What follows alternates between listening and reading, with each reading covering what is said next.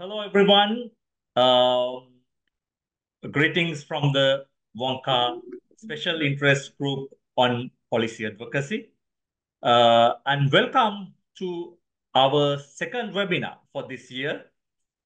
And uh, I hope uh, everyone is well. And we have a very um, interesting discussion today. And we have our president-elect, WONCA president-elect with us, Viviana Martinez Bianchi. Um, just to uh, tell you a bit about the webinar, um, today's webinar is about living a life of advocacy, an opportunity to learn from our president-elect. Uh, and uh, we have three panelists also from three regions. I think we will first uh, uh, try to uh, know who they are. Before that, let me introduce my co-chair and the co-host today. Um, I'm you you know I'm Sankha Randenikumara. I'm the co-chair of the uh, Special Interest Group on Policy Advocacy, and also I was the uh, uh, past Young Doctors Lead of WONCA. Um, I have Amanda Howe, uh, co-chair of the SIG. Uh, Amanda. Yes, thank you, Sankha. Uh, colleagues, you may know me. I was involved with many of the working parties, particularly the Women's Working Party. Then I was president of WONCA and on the executive for six years now, also co-chairing this with uh, Sankha. Thank you. Um, I will formally introduce Vivi in a minute, but let's go first. Um, Hina, would you like to just introduce yourself? Hello, everybody, uh, and salam and namaste to those coming from South Asian region. I can see a few names there. Thank you, folks, for joining. My name is Dr. Hina Jawaid. I work as an associate professor in the Department of Family Medicine at Health Services Academy in Islamabad, Pakistan. Um, and I'm also um, chairing, uh, co-chairing Working Party Family Medicine um, Regional Lead for South Asia and uh, Working Party on Research. Thank you. Thank you. Thank you, Hina. Uh, we have uh, Marina from Spain uh, representing the WONCA Europe. Uh, Marina, introduce yourself. Good afternoon. Thank you. Thank you, Sankha. Uh, good morning, everyone. My name is Marina uh, Guisado. I'm a family physician and I had my PhD and I am honored to be here today as a panelist. I am currently serving as the secretary of the WONCA Europe Working Party on Policy Advocacy that it's a group that was formed in July of 2023. So it's a relatively uh, young group, but we are deeply committed to empowering policy advocacy and influencing European uh, policymakers to enhance primary healthcare. At this moment, we are working on a roadmap for policymakers to establish a high quality primary healthcare system across Europe and we are working on it. Now I am based on Madrid and I am excited to be part of this webinar to learn from Dr. Viviana. And thank you so much for inviting me. Thank you, Marina.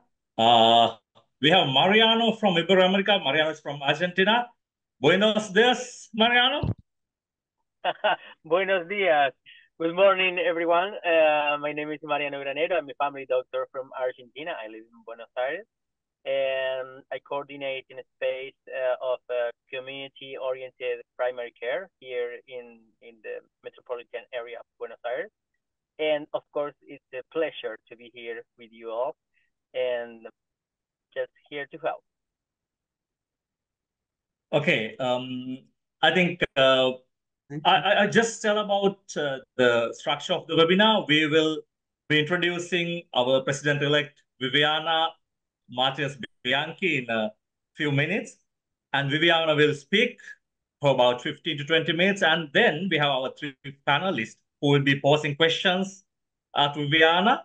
And then we all can uh, uh, get together and we can discuss and we can pose questions to Viviana and our rest of our panelists. And uh, just to tell you about the uh, the translated captions option, um, if you can see the bottom of the screen, we have a we have activated the translated captions option, um, where you have many languages, not only Spanish, Arabic, and Chinese, uh, many languages that is allowed by Zoom so you can can go there and uh, activate that option. So you can, if you are not very very familiar with English, you can always use this option and uh, see the captions or subtitles uh, from the language of uh, language which you which you like. Um, and that's it. And also uh, to tell that uh, three of our speakers, including our president-elect, uh, are very, very fluent in Spanish. So if you have any problems, don't hesitate to ask the question even in Spanish. We are, we are, we are very much um, happy about that today. Um, Amanda, it's over to you to introduce Viviana Martinez Bianchi, the president-elect of WONCA. Thank you, Sankha. Uh, just one other thing on the captions. If you can't see it in the tool bar, then click more, then click captions, and then it gives you the choice for your speaking language and translation language. Anyway, um, Vivi, uh, I think Vivi is one of our most influential WONCA leaders. She's got very long standing expertise in advocacy. And I remember when she was on my executive, she would help us by doing workshops for the executive to develop our own understanding of the competencies and the dimensions involved. I know also she has used this very effectively to advocate for the communities that she does her clinical work in, the underserved communities striving for policies around health equity. So, not just fighting for family medicine, but actually for the people. And she's been always passionate to share those skills. So, this is an exciting time that she has agreed to join us, and hopefully, she will inform the work that we do in the policy advocacy groups, both at global and at regional level. So, Vivi, thank you so much. Please uh, do your presentation and we look forward to it very much.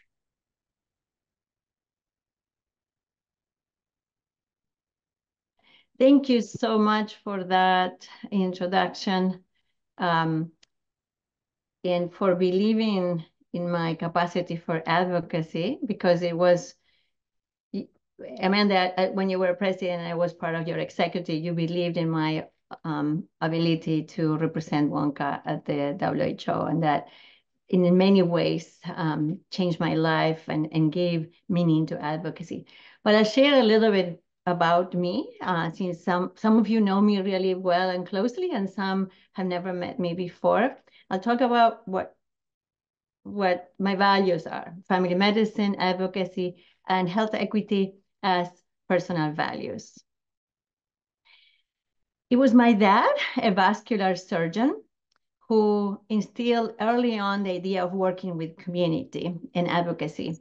I grew up in Argentina, uh, and we will often go sailing in the river. We grew up sailing. And my dad always carried his doctor's bag with him. And fishermen would often approach our sailboat. And as they approached the sailboat, El doctor, ahí está el doctor. Here's the doctor. Here's the doctor coming into the islands. And he will cure wounds, give advice. He will bring medications from the city into these more remote islands on the Paraná River. He will treat diabetes and hypertension. He will counsel against smoking. In 1978, when I was 14 years old, brimming with excitement, my father showed me newspaper headlines highlighting the Alma Ata Declaration, identifying health as a human right and primary care as the key to the attainment of the goal of health for all. I was 14, and I said when I was hearing this, and when I saw his excitement, and I, I, I said I wanted a career that would involve patient care, public health, and global policy. And he said at that time that my specialty had not been invented yet, but I would that but he thought that I would design my own path. Viviana, he said, this declaration can change the world. My dad was a very pragmatic surgeon who I think at times could be a naive dreamer. And at the same time, he always will say that solo está derrotado aquel que deja de soñar. Only one who stops dreaming is defeated. My dad guided me since I was a teenager on a path towards primary care, health equity, and policy work. For me, family medicine has become that dream, the dream of my father, the dream of many of us, people before us and us. And family medicine is my vehicle for social justice. My dad, unfortunately, died too young to see me start residency training in family medicine. And when I finished my residency training, I was not aware that family medicine was starting in Argentina. So I moved to the United States to train in family medicine. I think my dad would be proud to see me in the path that I went through. And I also keep dreaming today that we as a collective can continue to make a difference towards achieving health equity in every corner of the world. Just like Dr. Tedros, the Director General of the World Health Organization, has said that health is a political choice, we have the ability to, through advocacy, really, really um, inform policy. And policy is not just what countries decide, but it's also what happens in our own environments, the policies and politics that rule the clinics that we work, the hospitals in which we work, the health systems, the public health departments. When we live in a world plagued with inequities, in a world where the circumstances are stacked up so differently for different members of our communities, what can we do to move towards a con continent, a world of justice, of equity, especially in equity and justice in health with access for all. And that has been a lot of my fight for family medicine. I had stood in front of this poster at the United Nations 11 years before starting to work with um, WONCA, reading this quote from the Declaration of Human Rights and thinking how far we are from this declaration to be really our current reality. How many people around the world are not truly free? How many are victimized and not considered equal to others in dignity and rights? We all know how much we need to continue to work for women around the world to break glass ceilings and to live in situations without violence home violence, work violence. We all want to work for all people should be treated equally, regardless of who they are or who they love. Advocacy for LGBTQ plus rights. Seeing inequities is my motor for advocacy. Family medicine is my form of advocacy individual and family advocacy, one person and one family at a time.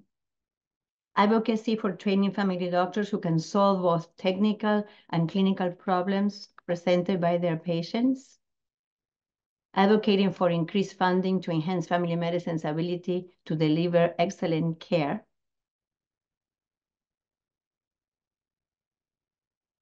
We all know that by investing in mentoring programs, promoting continuity, continuing education and supporting young doctors, we can ensure a, a strong legacy of family medicine.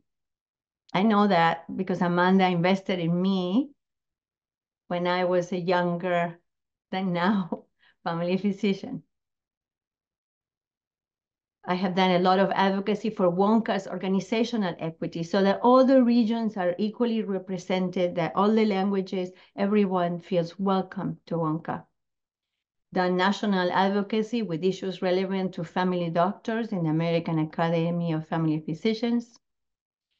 Collective advocacy to, to the creation of a broad multi-sector partnership to alleviate suffering during the pandemic, especially for Latino Latin American patients living in the US, advocacy for better access to resources for historically marginalized families at the state level in North Carolina, where I practice, At the federal government, invited to address the bipartisan Committee on Education and Labor at a hearing on successful models for protecting communities from COVID-19. And most recently, as a member of President Biden's Council on Sports, Fitness, and Nutrition. I was fortunate to be selected by Amanda Howe to be the WONCA WHO liaison from 2017 to 2018, and then Donald Li asked me to continue on that role from 2019 to 21. Representing WONCA to the World Health Organization was a privilege to represent, just like what Pilar and Anna are doing at present time. WONCA as a non-state actor in official relations with WHO and comment on issues important to family doctors. And when I think is perhaps different for our own specialty is when when we talk about family doctors, we're talking about the communities and the people that we see and serve. Representing WONCA at the United Nations, in Astana, when World Health leaders converged to Astana for the 40th anniversary of the Declaration of Alma Ata. I couldn't stop remembering the day my father had shown me the Alma Ata Declaration, and now I got to be in Astana, the Global Conference on Primary Care, together with an amazing group of people that represented at the global conference. Family doctors, young doctor representatives, champions for family medicine in clinical practice, in research, in health policy, and in academia. All of us advocating for family medicine. Picture here in Astana, I'm asking whether there is true political will to make this new declaration happen. Will there be support for the training of family doctors to meet the world's needs, to support their teams? Will countries truly support primary health care, universal health coverage, and consider health as a human right? I envision a WONCA that elevates new voices and brings multiple perspectives together.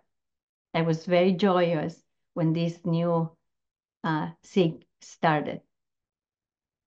I envision a WONCA that transforms health globally by leveraging our role as a global leader. I hope that we all engage in advocacy. We must, we must work together as family doctors, as member organizations, as SIGs and working parties, as WONCA world regions, as a united WONCA in intersectoral collaboration to make a difference. And my question to you is, what is your advocacy plan? Thank you.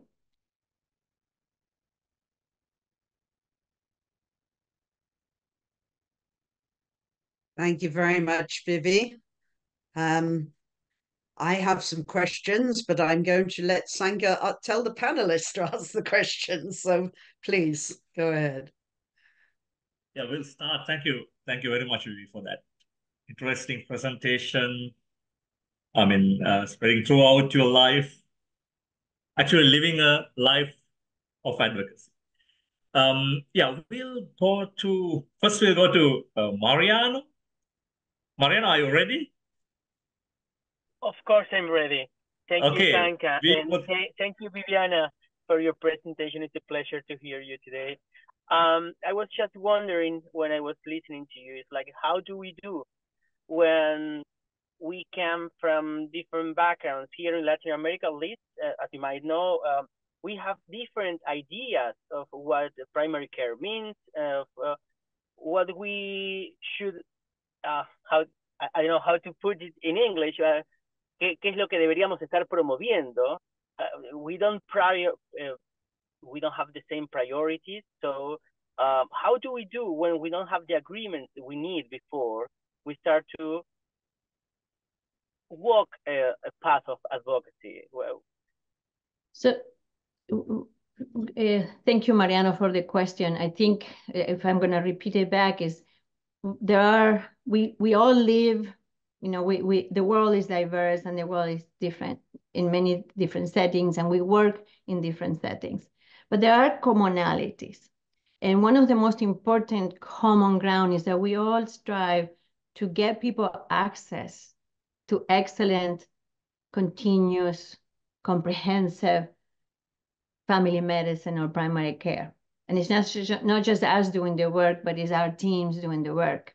And one of the most important issues of advocacy is for us to explain what is it that we do. That is not just about runny noses and little colds, but is that uh, we accompany people through very difficult times in their lives. And that our advocacy needs to be supported by data. We have to figure out how to, where there are no academic medical centers supporting family medicine's insertion in the academic centers, we need the, because academia often, uh, those are, who are in academia are often the ones that can do the research that's necessary at the local level. When we live in countries that lie about data, that don't share, I have lived in the same country that you lived in, Mariano, where our officials will say that there was no malnutrition in Argentina when I was growing up, right? And you could see malnourished children walking the streets every day. So I think part of advocacy is pointing the realities and seeing, you know, what is it that we're doing. And sometimes it's data, and sometimes if the data is not produced, we have to do the research to show what's happening. And also it's the stories that go together to the, with the data and explain what happens when families go to bed without having had access to food and nutrition and a doctor that can guide them on how to live in better ways, right?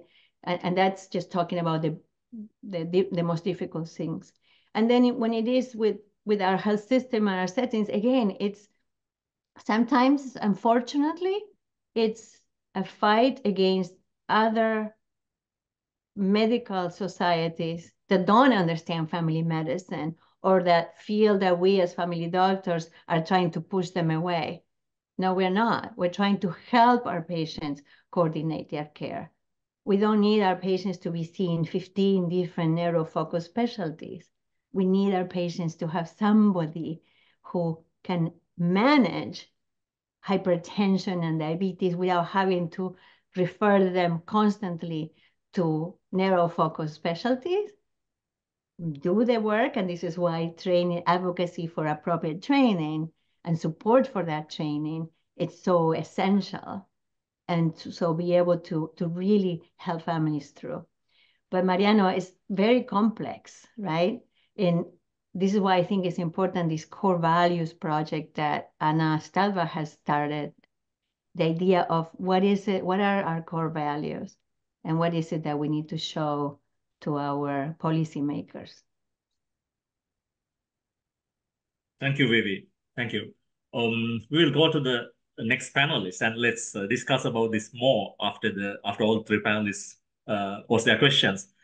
We have Marina Guisado from Spain, uh, also um, uh, the secretary of the WONCA Europe Working Party on Policy Advocacy. Marina, you can ask your question from Vivi. Thank you, Shankan. Thank you, uh, Dr. Martinez, for your inspiring presentation, your words about uh, the past experiences and what your father shared with you and which you are now sharing with us are truly uh, touching.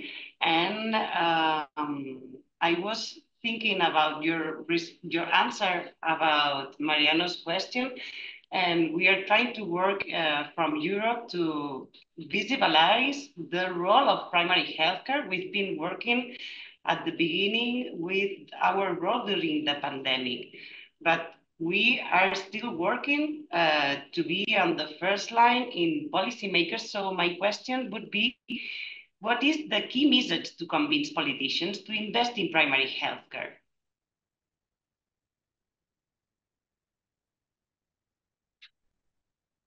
I think one of the bigger issues that we see is that many politicians never had access to an excellent family doctor.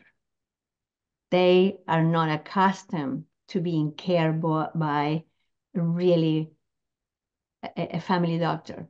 And because of that, they cannot articulate what we do into policies. In the US, the biggest change that I saw was that President Obama had a family doctor before in Illinois, before he accessed the White House. And because he had had excellent family medicine care for his own family, he was able to articulate a vision for primary health care in this country. Okay, and again, the US has significant inequities, but the practice of family medicine is sound, right? And, and it has access, it, it, it has created tremendous amount of access for people all along this country of 300 million people or more, right? So I think one of the issues is that. Another issue I think is, is showing them what, is it that we do every day and how important this is for a community to have a family medicine center in the neighborhood. Marina, I have been very interested in the changes that have been happening in Spain and how and when I visited Spain and I saw this really amazing uh, community centers that took care of the whole barrio. And at the same time, I also was horrified thinking about the volume of people that people needed to see five minutes per consultation for such complex issues. Oh my yes, goodness. Right? So, so again, are, is there a team that can take care of some of those answers? You know, a refill of medicine doesn't have to come to the doctor each time. It can be come to the nurse. So there's all these different models that, and this is why I think it's so important to to have this get into get to get together like this and share our own pearls of wisdom of how we can practice and how we can impact policies. Thank you for your answer.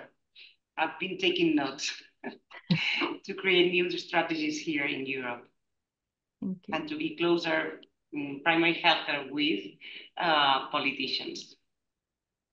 Thank you. Thank you. Thank you, Marina. Thank you, Vivi. Um, Hina. We have Hina. Hina is from Pakistan and she represents the the WONCA South Asia region. Hina, go ahead. Thank you very much for this opportunity, and it was a great presentation, Viviana. Um, you mentioned core values, and I think core values is linked with equity. Now, my question is primarily focused at the South Asian region. You've been to the conference recently as well. How, what barriers do you see in the application of advocacy, particularly in a region where we do not have an equity committee? Um, and how do you see that transformation taking place and how would, would you support it? Thank you. Yeah, thank you. Um, I think there's two things. There's organizational equity, the equitable representation of members of the organization which is different from health equity, right? They are interlinked and there are often similarities in the root causes of inequities that are similar to both organizations and countries and health systems that cause similar things, right? Uh, who are the decision makers? Do they have a narrow focus or they have a focus of equity? Are they able to see through a lens of equity to see who is represented, who's not represented, who is accessing, who is not accessing? Um, during my trip in, in Sri Lanka for my the South Asia meeting, I, I, talked about the, the people who live in the interstitium of society. And in Sri Lanka, I saw the interstitium is that those people who are very important to the economy of a country, but that are unseen and heard. The, the, people don't really think about the value of their work. And tea workers, for me were the representation of those people who are in that interstitium, right? When I started looking at all these women working in the hills in central uh, Sri Lanka, and I thought, do they ever get a chance to go see a family doctor? Now, that's the other issue is that advocacy sometimes takes a is dangerous in certain countries and certain police in, and in certain political environments. And, and having grown up in a dictatorship in Argentina, um, many, many years before Mariano was born, I I saw that, right? It's very hard to advocate, but I learned from my father and my mom both that I could do they did advocacy through their medical. My mom is a biochemist. My dad is a was a surgeon, they did advocacy through their medical organizations. That we have an opportunity in our own member organizations to do the advocacy and say, hey, hello, are we paying attention? Are we paying attention to our salary only, or are we paying attention to what's happening in healthcare in general in our societies? And so bringing this together and putting it together. And in, in regards to organizational equity, is it's saying what's obvious, right? And and I think again, is that lens that allows you to see. It's like, oh my God, all the speakers are from only one region. All the speakers are from only one uh, gender. All the you know, paying attention and saying what's not, who is not represented here and why, and and create spaces where we are are safe to be able to say and notice. Now, Hina, I felt many for many years in in the U.S. Even I was like Viviana, like oh Viviana, you're always talking about Latinos and their lack of access to healthcare. So you become a bothersome person. You know, you you am that I call it the the horsefly, the tábano in Spanish, the horsefly but every now and then you actually see somebody who notices or somebody who validates that you're saying is true. In my case, it was my chair in my department who was a white male with lots of privilege who say, wait a second, pay attention to what Viviana is saying because what she's saying is true. And his validation helped me. So sometimes it's finding the mentor who, help, who can help us to advocate and say, hey, this is truly happening perhaps there is a, it's a moment of change in your region, Hina, and I hope that's true. Uh, is there a possibility for another question or a comment, Sankha? Briefly, okay. Hina, yes. Sure. Um, this is this is a comment, and it's um, for Pilar. I, I believe she's here. I know you you you may be attending the WHA seventy seven. Actually, Pilar has literally just left the meeting. She put in a chat, but she had to go. All so, right. That's fine. If it's um, personal, I would contact afterwards. Um, it, it, wasn't um, personal as such, but I just comment, uh, there was a tweet from the WONCA saying uh, we need to strengthen um, the uh, the primary healthcare in, in all the regions. And I was wondering, uh, we mentioned, Viviana also mentioned trainings, uh, postgraduate trainings, particularly special emphasis needs to be given on the training of the family physicians and if can be if it can be kind of advocated from this policy group, that would be uh, excellent. Thank you. I, if I may, because I've been seeing the work of WHO for 10 years or more and, and the United Nations, um, multiple declarations are done that supportly advocate for universal health coverage, for, for primary health care and our politicians sign on agreements that often are not fund, funded. You know, agreeing on something and tweeting on something is not the same as making it happen, but we have a responsibility as civil society and as organizations to say, hello, this is the treaty that was signed. This is what it says. What is the next step? And at the same time, be prepared to when you're asking about the next step, if they ask you, can you help? You say yes. But it is hard, it's difficult. It's it's being there, it's it's putting sometimes our head and our space in getting leaning into those spaces of difficulty. Uh, and yes, possibly addressing the barriers, the obvious barriers as well. Sure. Thank you. Thank you, Hina. Thank you, Vivi. Um, I will now uh, hand over to Amanda. Amanda, you can start. Thank you. I already have one question that has been put into the chat. So please also, colleagues, feel free to put things there because with nearly 40 people, it's hard to see if you have the yellow hand. So I will invite you, but I'm going to just make a couple of comments, if I may. Um, Vivi, one thing you said in your talk was about, you know, the evidence. And I think that one thing that WONCA can do, maybe through its individual active members, but I think briefings, giving people briefings, you know, what are the key arguments on one page or two pages for family medicine training, for integrated primary health teams? Because I think we know this, but to give people a short summary saves them a lot of time. They can translate, they can discuss it in their region, they can, uh, you know, decide who can use it where. But I do think that it's it's kind of a way that WONCA can feed things. And of course, colleagues, for our SIG, you know, we will put resources onto the membership portal. If people find things useful, please share them there and then other people can look back or you can send them to Sankha and me and we will post them in one area. So, but I think that's one thing. Another thing with WONCA, and it I think relates to what Hina was saying, is that it's really good if the executive, um, as it were, hold the regions a little bit to account about what they're doing um, advocacy wise, but also to enable them. So I don't know, I'm not on the executive now, but to keep having this conversation, how is it going in your region? Do you need any other help?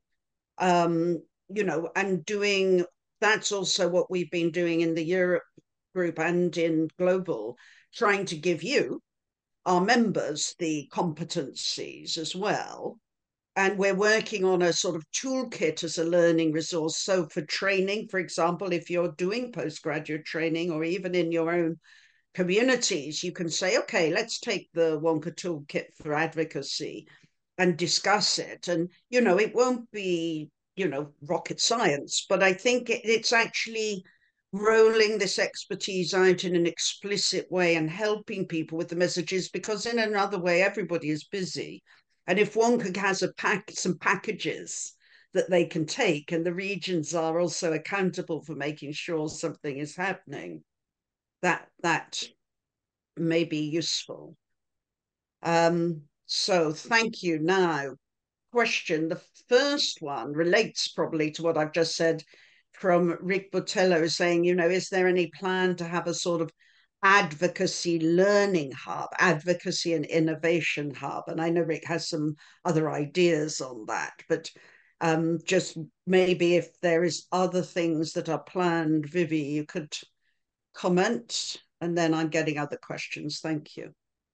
Yeah, I think well, you, you, Amanda, you know my love for advocacy and for training in advocacy. And there are advocacy tools that we should have available for people, the creation of an advocacy plan, the creation of um,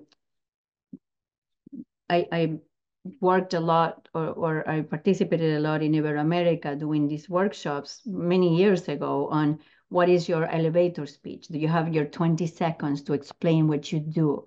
Um, can you catch the attention of your Minister of Health if you run into the elevator and you have 20 seconds and then you have two minutes and then you have a proposal written ready to go, right? There, there's so many things that sometimes um, we don't realize that are so important. Just as we know the management of people, we need the man to learn about the management of systems and health systems and how to do proper advocacy and creating really important um, workshops for everybody in the system to be able to speak clearly about these things. Um, uh, as you know, Amanda, I just started my time in the executive again, and and we, uh, uh, I personally believe very much in the possibilities of this uh, SIG in advocacy and in advocacy training. I think we have the opportunity to really work together to create workshops of, for advocacy for each one, just like the Women's Working Party creates workforce for women to empower themselves. We need advocacy workshops at every one of the regional meetings to create empowerment for family medicine. Well, that's really good to hear. And again, there is perhaps a role without being too bureaucratic for WONCA centrally to mm. say for that because different regions conferences have different approaches to what is you know automatically billed or whatever but you know that is good um actually had a comment as well about is there a current clearly defined policy that WONCA stands for um, specialist postgraduate family medicine training and discourages non-training pathways into family medicine. And I must say, I thought there was, but maybe it needs again some updating and dissemination. And also, I know that many countries have it, you know, need what I would call a transitional training program. So to help those GPs who are not specialist trained to uplift, and not all countries, of course, are committed to this, but policy wise, I think, Vivi. I, I, well, first of all, we are a member of member organizations, and each member organization supposedly is formed by those who have postgraduate training in family medicine. But in some regions, it happens a little bit differently. Um, there was a question about Cuba, and Cuba is one of the largest organizations in Iberoamerica with many family physicians. Many of them are trained for to be family doctors during medical school and given the, the, the skill set. And then some then also do postgraduate family medicine. So there are still different models and each member organization has their own ways of doing. But I do think we have a tremendous opportunity because there's more than just family doctors working in primary healthcare. And we have the opportunity to say, wait a second, what is happening to those who are in primary healthcare already, working in these teams providing clinical care and primary health care for communities all around the world that didn't get postgraduate medical education. Can we tool, can we scale those who didn't get that postgraduate medical education to elevate knowledge, to do continuous medical education, etc., and bring more people into the fold. I would love for us to not represent just half a million family doctors with postgraduate training, but actually more that are involved, eh, more voices give us more power. And at the same time, we cannot do this without adequate training. So it's a complicated issue, Hina, in that many countries think that primary healthcare doesn't require all that extra training when we all know how complex this is. Another thing I just thought of, we did see some good examples. I actually was working with one um, of transitional training programs. And uh, maybe that is also something to ask in the regions and to share somewhere through the Education Working Party, because they are, of course, tailored to each country. If the country has committed to making that support for the existing GPs and working it through, but it might be a good thing to try to find good examples of that and to share them somewhere so that it I, gives models again for politicians also if you can get the ear of politicians to say well this country has done this you know to help to support its gps to be more like modern family physicians so while we're doing the specialist training you know here's a yeah. model we could group up. Yeah. And we've had uh, continuous conversations about this. We're having this conversation in, in the PAHO region, in Pan the Pan American Health Organization, um, on actually assessing the situation in the Americas at this point, right? Mm. Jacqueline Ponzo and others are, are, are leading. We're working very closely with PAHO at the present time on something, on, on, a, on a research to, to find out who, who are the family doctors in the region. Um, And again, you know, there are Cuba, Mexico, Brazil uh, have the largest, and then United States and Canada have the largest numbers of postgraduate trained family physicians. And at the same time, uh, some of the member organizations don't have so many members. What is it that what can we do to bring people into the fold to increase their representation and increase the the power of policy making mm, and of course also small can be beautiful. So costa rica will not give many numbers but i think it has very good program. Um, helena Karppinen has uh, comments about also the importance of undergraduate education about primary care, which of course is one of my um, lifelong favorite topics. Helena, would you like to speak to your question? Well, thank you for this opportunity. So, uh, of course, postgraduate education is extremely important in advocacy and in in enhancing that. Uh, we might still forget sometimes that if we have very good GP education in undergraduate phases, then we might help help to avoid the prejudice that might be among other disciplines, and that might be one very important way to go further. And there is some evidence that that if if we have good GP education in undergraduate phases, then then we may have more and better GPs later. Thank Helena, you for this wonderful discussion.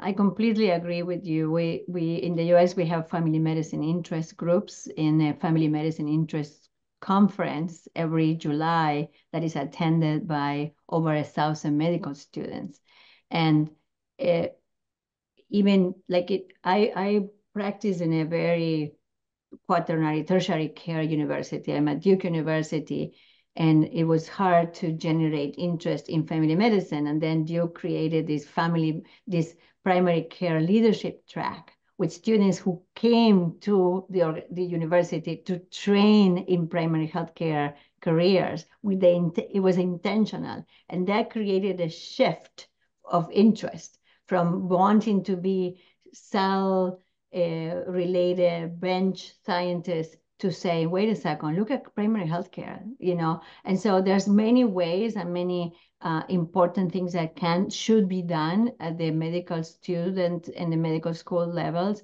to really enhance the understanding of family medicine and to increase the interest in family medicine through rotating through family medicine, through participating in clerkships in family medicine as well.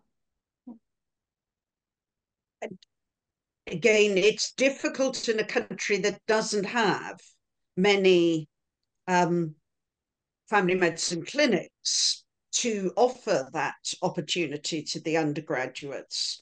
But even if you only have a few, you maybe can bring people onto campus to give lecture or, you know, change agent or whatever.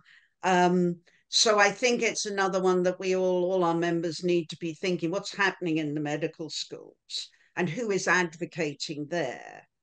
And in fact, in Ukraine, I remember when I first went there, the, the leading advocate was a diabetologist because mm-hmm. he had seen what family doctors in the community could do to prevent diabetes early, treat it, manage it at home with the team.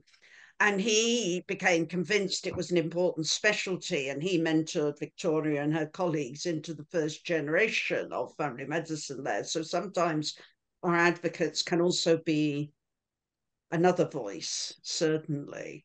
Um, and Vivi, I think it's true to say that WHO has an agreement with the International Federation of Medical Students Association, who we also meet with when we go to WHO.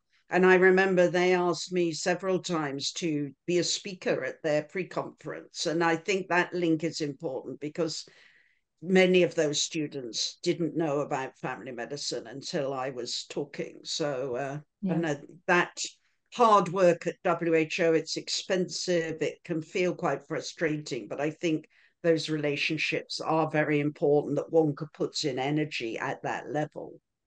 And indeed, you know, the WHO primer, the recent one, you know, it says so many things we've been campaigning for for years. So I think, you know, we have to keep doing that work as well. Um, other colleagues, is there anybody who would like to? Sorry, Or- Vivi. Oh, We have- Osden has been raising hand, the yeah. hand.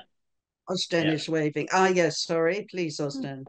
Oh, thank you very much. Uh, I didn't want to interrupt, but it was just going like flowing like a lot of uh, water, and it, it, it is very enthusiastic to see that uh, it could be just told in words in every dimension in our global village. Um, my question is, uh, can we just make some policy statements that could also connect with the institutional level or governmental level? Governmental is a question mark, not only uh, all, all the policymakers will, that, will do that so, but at least we can just uh, talk about advocacy for also undergraduates because in some countries, uh, after they graduate without any traineeship, uh, family physicians could be work as general practitioners. So we may say that um, for the advocacy for all, can we just make the post statements and just make the people, the uh, healthcare workers, uh, policy um, makers, and also the ones who are just working in that field understand that WONCA uh, is just uh, talking about it, thinking about it, and taking action about it. If you go to the website where there are the multiple policy statements for WONCA, you will see that we have spoken about this multiple times at the World Health Organization and the World Health Assembly and the Executive Board. And you, we could find a list. And if we don't have one, I think it's important to start thinking about what is it that we need to, to say. Um, but I would, I would, I, I know I have talked about this. I have talked about the insertion of family medicine in in undergraduate education and in postgraduate education. There have been some multiple declarations at different times. Um, and so it will be important to start looking at what those advocacy statements and policy statements have been. And if we haven't made them clear enough and it's time to revisit them, I think that's the, our very, very next, very important next step. Just like uh, we've done other very important political declarations for health and the planet, for example. Well, that, that's great. Maybe uh, if we make the institutions like higher educational councils of each national uh, partner, uh, do you think it will just make them to do the right way? Yeah.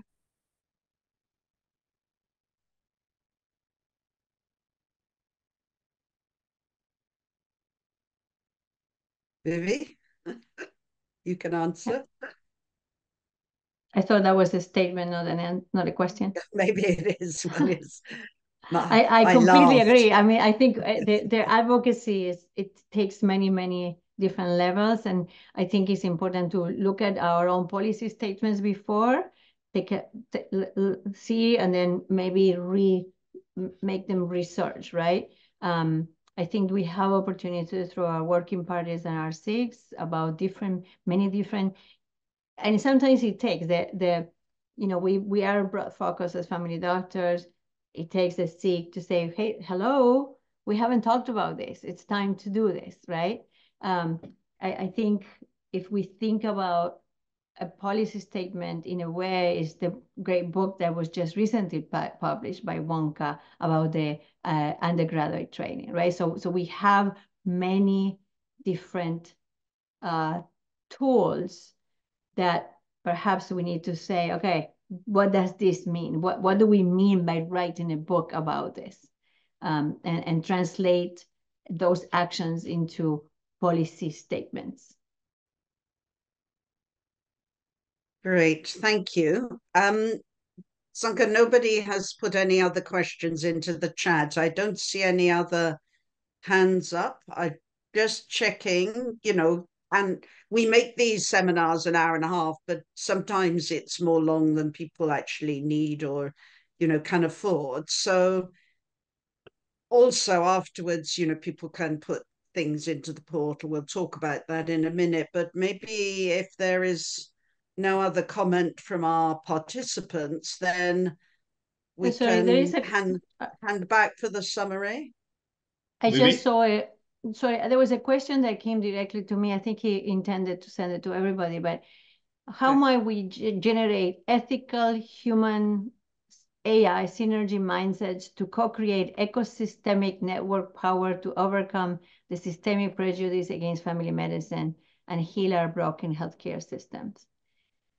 So uh, uh, uh, thank you, Eric Botelho, for this, Rick Botelho, sorry, for this question, because I think there is a in many settings, there is a prejudice against family medicine, and we need to name it, and we need to respond to it in with power, with the power of knowledge, with the power of training, with the power of showing what is it that we do, and um, just like I mentioned earlier about politicians needing a family doctor for them to understand it. I also think I, I think that our own narrow focus colleagues need to be our patients to understand what we do. Uh, I know that my power in my own institution grew. My power is the, our collective power as family doctors because we are the the, the, the medical home, the, the clinical home of chairs of other departments that are more narrow focus, right? That, that if I take care of the chair of orthopedics and I take care of the chair of cardiology and I take care, and these are my my patients and I provide excellent um, comprehensive care to them, then they understand more of what is it that we're doing. When we can answer questions to the man in the house, the woman in the house, the children, we can answer all these different questions. There's something that starts happening in their minds, right? And and so um, I, I just want to. I, I think it's so important for our own colleagues who also do advocacy to understand who we are. And then the other portion about advocacy is funding. And there's very difficult, it's very difficult to do enough um, without enough funding. And we often, as family doctors, are part of that interstition of medicine that I was mentioning about the interstition of the society. Family doctors sometimes are also part of that interstition, taking really good care of people, but not seen or heard or understood by health systems in the way they should. Thank you. Thank you, Vivi. Thank you very much. Uh, before uh, going to the final summaries, I just want to uh, respond to what Hina has told about these non-training pathways and the transitional programs. And you have quoted Sri Lanka as well, so I can tell a bit about that because um, you know that what you have uh, told is that Sri Lanka has a very good public health system and the, the most of the um, infectious disease has been controlled, eliminated. So with that, um, when you take the primary care side, we also have a very good uh, family doctor training programs, as you have told, uh, which are run by the by one of our member organizations, that is uh, College of General Practitioners of Sri Lanka, and also by the Postgraduate Institute of Medicine. While having these, we also have some sort of of um, uh, other programs coming in uh, with non-training pathways, as you have clearly told, which are mainly targeting at uh, uh, let's say, uh, qualifications. And probably I, I, I, I agree that they are undermining the importance of training pathways because sometimes they are seem to be, I mean, the people who get these qualifications seem to be, and from the from the outward, I mean, for the society, just as the trained doctors, because they are, uh, I mean, I don't say that pretend, but uh, when you when when you are when you have some qualification, uh, some post uh, nominal, you know, some uh, postscript. So you people tend to think that they are trained family doctors. So I I, I totally agree with you that we have to advocate more on uh, training pathways, and I also think that we have to uh, think of our own uh, country specific unique programs because uh, programs are, uh, I mean, the, the, the, the, the necessities and the, the, the programs should be tailor-made for the, the, the necessities of the country rather than uh, planted from somewhere else. So I totally agree with you that uh, we have to advocate on having more training pathways, as well as uh, we have to uh, empower the member organizations to go ahead with their own pathways, which are tailor-made and which are which have which are developed in their own countries. So thanks for that. And uh, Vivi, I would like to invite you to summarize what we discussed today. I think there was a very good discussion about different topics, but over to you. Sorry, uh, Vivi, we have yes. one more hand up. Yes, sorry, I yeah. did say, I don't know if we really have time, but Rick, very briefly, it's okay. Very brief. Thank you, Vivian, for pointing out the question. I put the link in there. This morning, I used Suno, which is a AI tool for writing songs. And I wrote a song about heal healthcare. And it's amazing what you can do on AI. And it's in the tune of acoustic progressive rap. So put your mind around that and have a listen to the song and see what you think. It was composed this morning and created. So let's use some AI human synergies to bring attention to the cause. Okay. And our next web for the SIG advocacy, of course, will be a choral advocate webinar. How about that? or, or, a Greek chorus, or a Greek chorus, or whatever. Let's let let the metaphors roll. Thank you, Rick. I, I have I have reposted your um, link so people can have a look.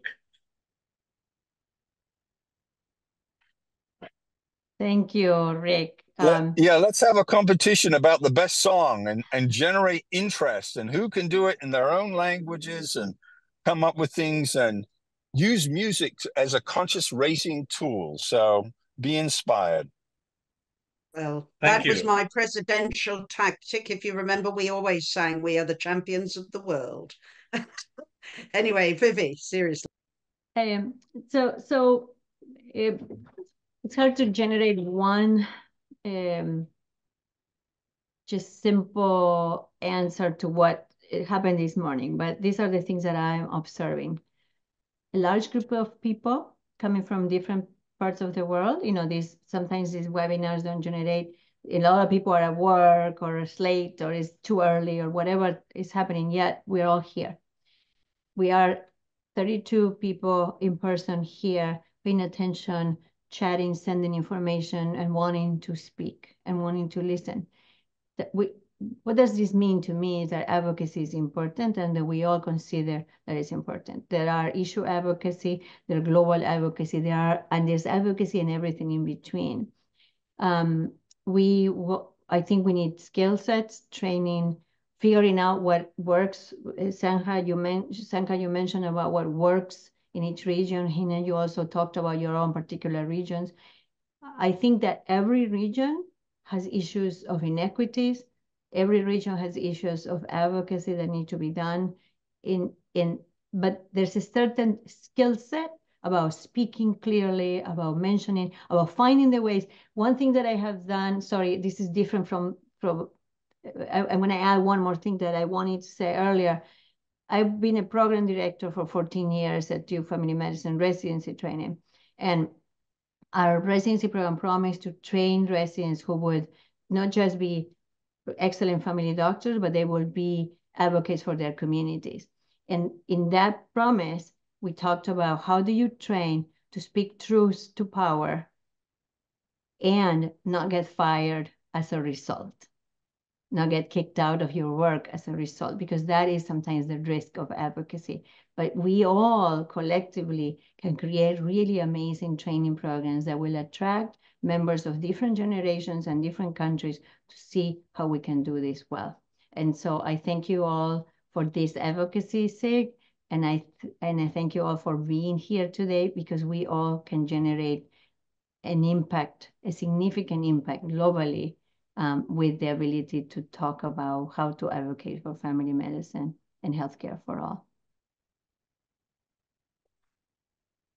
Thank you very much, Vivi. We are so fortunate to have you today.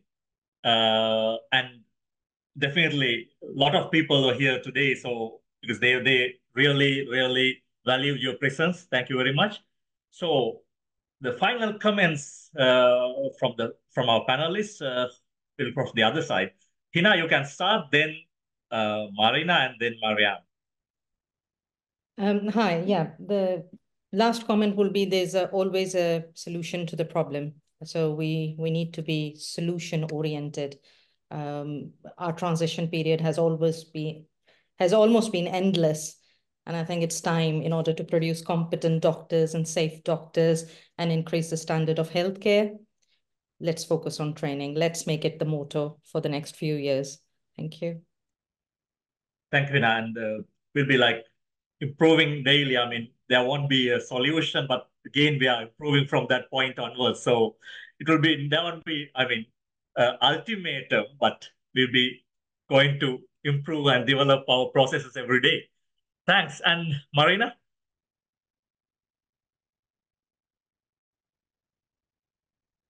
Um, uh, you are, estás you are muda, muted. estás muda.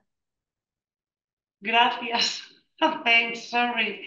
So I would like to thanks to all of you and also with Viviana's words that she talked about health as a human right, the importance of data and making primary healthcare visible that are very motivating for our group um, encouraging also family medicine residents uh, in advocacy and creative plans or workshops to address these barriers from practice to policy are crucial steps that we will work probably in the future. And I took some notes about what I have learned in this um, discussion. So thank you very much uh, for this invitation and for this participation. Thank you. Let's continue to work together then to strengthen primary healthcare and to visualize our work. Thank you, Marina. We all, all, always expect your continuous support. Mariano?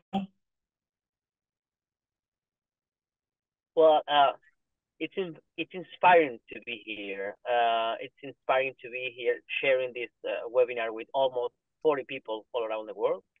Um, the, there are many ideas that just got into my head, and but there is something, Viviana, you said that uh, really got me. It's like when you said when you point out uh, something that is going in a different way that should be going. When you point out uh, a problem, and they they tell you, "Are you going to help?" You have to say yes. Otherwise, you are complaining. Otherwise, you are uh, one of those people that this is wrong, this is wrong, this is wrong. I'm not going to do anything about this, but this is wrong, this is wrong, and that really got me. Um, and I, I thought that it's simple, but it's also profound. It's also really deep. So uh, I'm taking this uh, with me, and I guess I'm going to say yes every time they ask me, "Are you going to help?" thank you, thank you. It was so inspiring to be here. Thank you, Viviana. Bravo. Thank you, Mariano. Uh, I think don't don't forget that we all are with you, so you are not alone. Whenever you help, you need help, there are a lot of people, your seniors or colleagues with you. Whenever we need some advocacy. Thanks very much, uh, you all. Uh, Amanda, a few thoughts finally. Yes, thank you.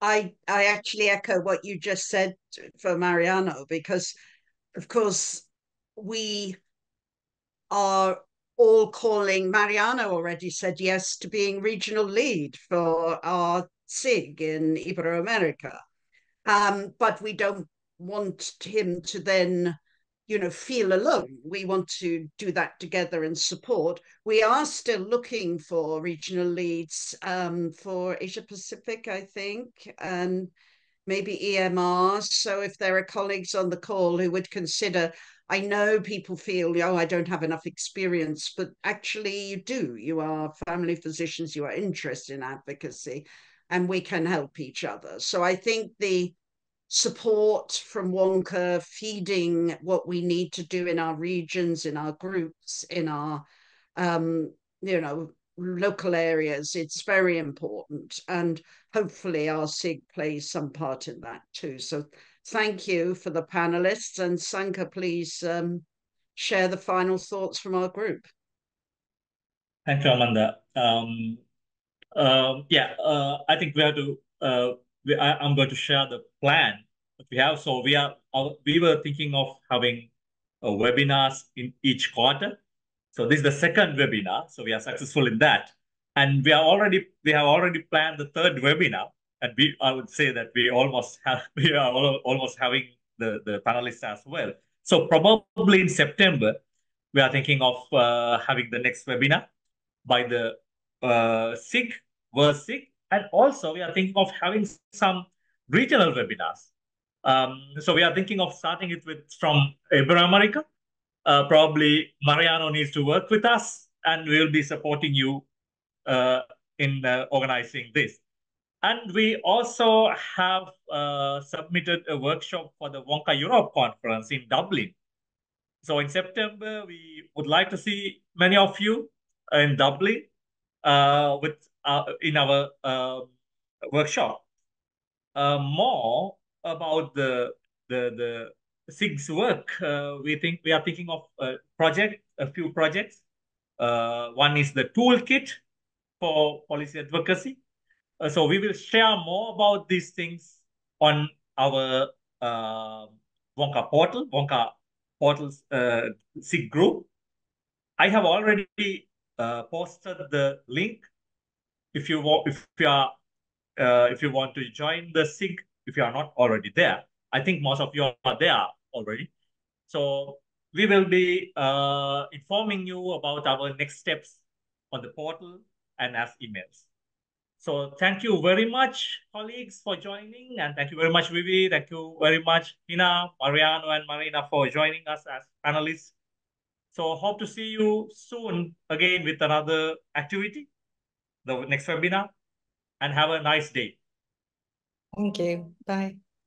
Thank you. Thank you. And if you have any feedback for us, put, you can put direct or on the portal because we want these things to go even better. But I think it's been great. So thank you, everybody.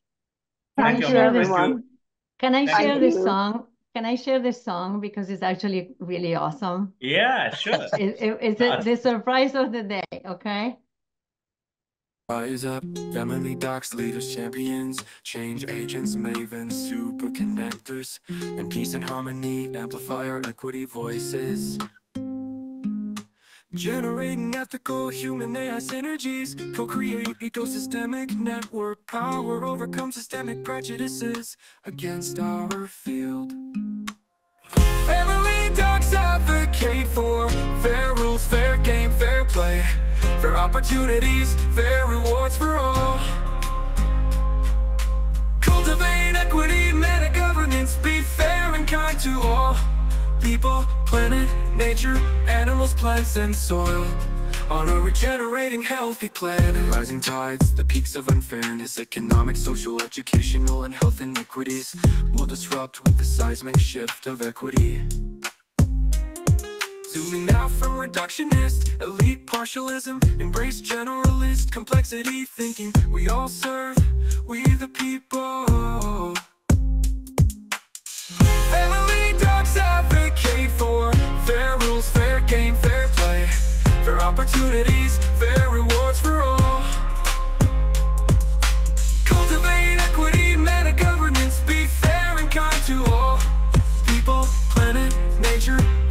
Plants, and soil.